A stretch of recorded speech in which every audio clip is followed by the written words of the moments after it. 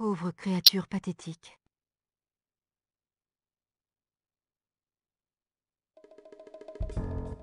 Ah, Miss Archer, j'espère que vous récupérez convenablement.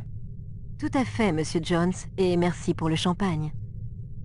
C'est une tradition que j'ai inaugurée pendant la guerre pour récompenser mes gars. C'est utile d'avoir des relations dans le service d'approvisionnement. Alors vous voulez dire que je suis un de vos gars? On dirait. On figurait, bien entendu. Bien entendu. Miss Archer, je me rends compte que j'étais quelque peu caustique pendant cette épreuve. Vous vous êtes conduit comme un rustre agressif. J'espère que vous comprendrez que notre objectif commun était très important pour moi. J'étais sceptique sur les capacités d'une femme à remplir cette mission, mais je suis heureux d'avoir eu tort. Vous êtes allé au-delà de vos devoirs en la matière, et nous vous sommes tous profondément redevables. J'aurais aimé pouvoir vous offrir des vacances, mais tant que l'Union n'a pas retrouvé tous ses moyens, je crains que ce ne soit pas possible. Merci, monsieur, mais j'ai attendu cette opportunité depuis trop longtemps. Je n'ai pas la moindre envie de prendre des vacances. À la bonne heure. Bon, eh bien, je vais rentrer chez moi pour voir si ma femme ne m'a pas oublié. Nous nous reverrons demain. Je ferais mieux d'y aller aussi. Je n'ai pas pris de bain depuis trois jours. Je dois être mûr à point. Alors, c'est comme ça que ça se termine. Qu'est-ce qui se termine? Sauver le monde et tout ça, c'est bien ce que nous avons fait. Oui, c'est ce que nous avons fait. Et c'est toujours comme ça? Des adieux fatigués et retour à la maison pour un bon bain et une bonne nuit.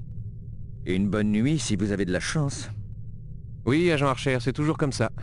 Vous voyez, sauver le monde, c'est notre travail. Pour commencer, si nous faisions bien notre travail, personne ne saura jamais que le monde était menacé. Pas de bruit, vous voyez? Juste la satisfaction du travail accompli. Un travail important. C'est ce que j'aime à penser. Bonne nuit, agent Archer. Bonne nuit, monsieur Smith. Bonne nuit.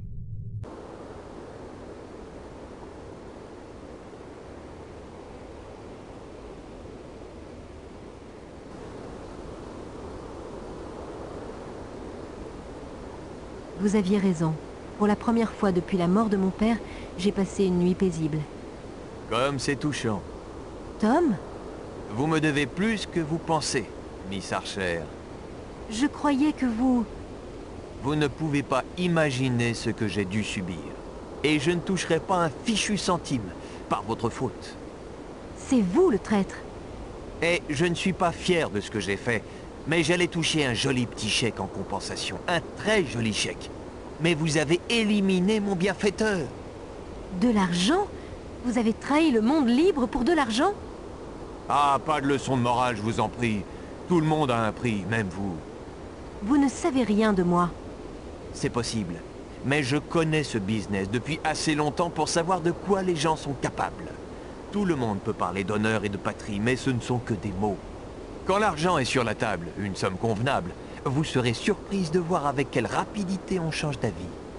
Et vous le croyez sincèrement Bien sûr Un espion, vous savez ce que c'est C'est juste un gars ordinaire qui est d'accord pour risquer sa vie et vendre sa patrie pour quelques billets.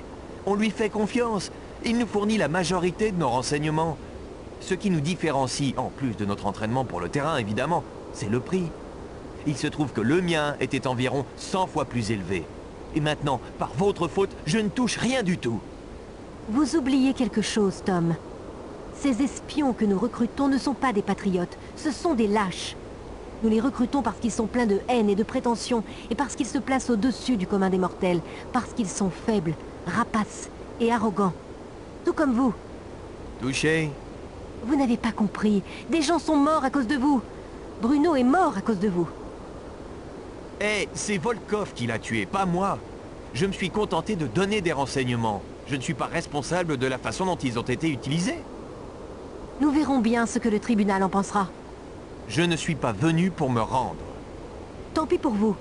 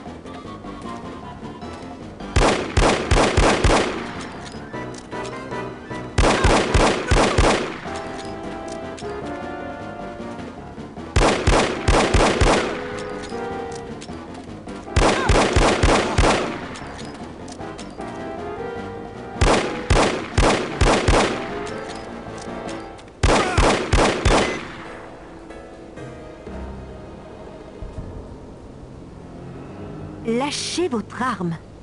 Sinon, vous allez me tuer de sang-froid? Si c'est nécessaire. Voilà de fortes paroles pour une gamine.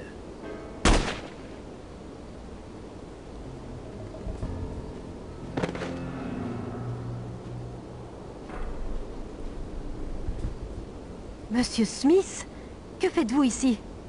Je viens finir un travail inachevé. Monsieur Jones Vous allez bien, Miss Archer Oui, qu'est-ce qui se passe? Voilà votre traître. Vous voulez dire Smith? Depuis quand le savez-vous? Je m'en doutais depuis quelque temps. Vous venez de confirmer mes soupçons. Vous voulez dire que pendant tout ce temps, vous avez pensé qu'il pourrait être le traître? Oui, mais je devais en être sûr. Vous auriez pu avertir Bruno Il l'a fait. Bruno. Attention.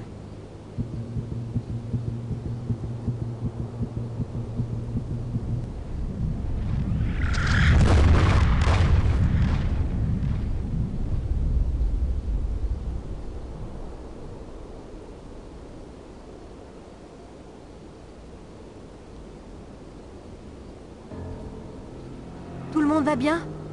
Excellent tir, Archer. Vous avez des nouvelles de Tom? Tom Goodman est mort à Amsterdam. Quoi? Mais je croyais... L'homme que vous connaissiez sous le nom de Tom Goodman était un imposteur. Son vrai nom était Melvin Blitzney. C'est un ancien vendeur d'aspirateurs d'Akron dans l'Ohio. Je n'y comprends rien. C'est très simple. Il y a sept ans, M. Jones a rayé Smithy de la liste des agents actifs en raison de ses performances de plus en plus médiocres sur le terrain. Smithy eut beaucoup de mal à accepter cette retraite forcée car, comme beaucoup d'agents secrets, il était un homme d'action. Il a pris sa réaffectation au poste d'administrateur comme une insulte. Il a gardé sa rancœur pour lui en espérant secrètement discréditer Jones et du même coup se remplir les poches.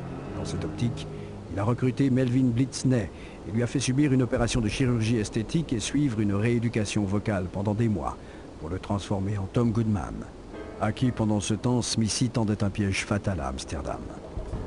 Comment se fait-il que Smithy se soit associé à un vendeur d'aspirateurs de l'Ohio? Apparemment, ils se sont rencontrés dans un bar en Floride lors d'une des dernières missions de Smithy. Quoi qu'il en soit, ayant éliminé Goodman sans que personne ne le sache, Smithy a mis la deuxième partie de son plan à exécution en s'associant à une organisation terroriste en plein essor. Il a choisi le crime. Son objectif était de provoquer un incident international à grande échelle, tout en paralysant l'Union pour nous obliger à capituler. Un échec aussi retentissant que celui-là était censé contraindre M. Jones à démissionner, ce qui aurait permis à Smithy de prendre le contrôle de l'Union et de toucher un beau pactole sur un compte bancaire secret à Zurich. Mais alors le Maroc? C'était un piège dans lequel nous étions tous deux censés tomber. M. Jones et moi avons pensé que c'était l'occasion rêvée pour que je disparaisse un moment. Vous auriez au moins pu me prévenir. Nous ne pouvions pas prendre de risques. Vous voulez dire que vous me pensiez incapable de garder un secret Il ne suffisait pas de garder le secret. Smithy devait me croire mort, ce qui signifiait que vous deviez vous aussi le croire. Je suis sincèrement désolé, Kate. Oh, vous pouvez l'être. Mais il y a encore certaines choses que je ne comprends pas. Smithy était extrêmement prompt à livrer des informations pour quelqu'un qui voulait nous voir échouer. Toutes les missions qu'il vous confiait étaient des pièges. Lorsqu'il a finalement réalisé que vous étiez bien plus compétente qu'il ne le pensait, il était déjà trop tard.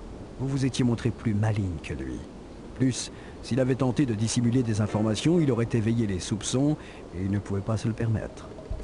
Mais pourquoi Tom, ou Melvin, peu importe son nom, a-t-il fait sauter le cargo? Pour se débarrasser de vous, évidemment. Mais Inge Wagner et Magnus Armstrong étaient à bord. Il ne lui était pas indispensable. Sachant tout cela, pourquoi n'avez-vous pas arrêté Smithy? Parce que nous ne savons tout cela que depuis peu, grâce à vos investigations. Nous avons obtenu la plupart des informations dont nous avions besoin, mais ce n'est qu'hier après-midi que nous avons placé la dernière pièce du puzzle, lorsque j'ai trouvé ça dans l'appartement de Smithy. La marionnette. Oui, Incroyable. je suis sincèrement désolé de vous avoir caché la vérité, Kate. Il ne suffit pas d'être désolé. Est-ce que vous réalisez à quel point j'étais effondré Je crois que je vais vous laisser. Vous avez sûrement des tas de choses à vous dire. Vous aviez l'air très triste. Que voulez-vous dire Eh bien, j'étais là quand vous êtes venu me rendre hommage. Quoi Vous m'espionniez Non, ce n'était pas volontaire. Je devrais vous tuer. Alors, qui est enterré à votre place Personne. Le cercueil est vide. Le cercueil est vide. Calmez-vous. Ne partez pas. Revenez que je vous donne une leçon. Kate, je vous en prie, vos réactions sont excessives.